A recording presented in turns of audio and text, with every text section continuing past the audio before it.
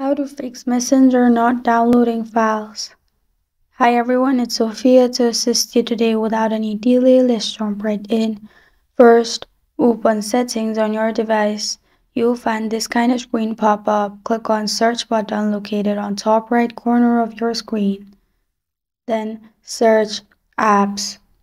Click on apps and notification.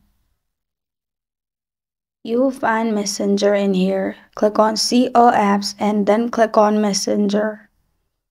Force stop the Messenger app, then go to Permission, which is below Notification and above Storage and Cache.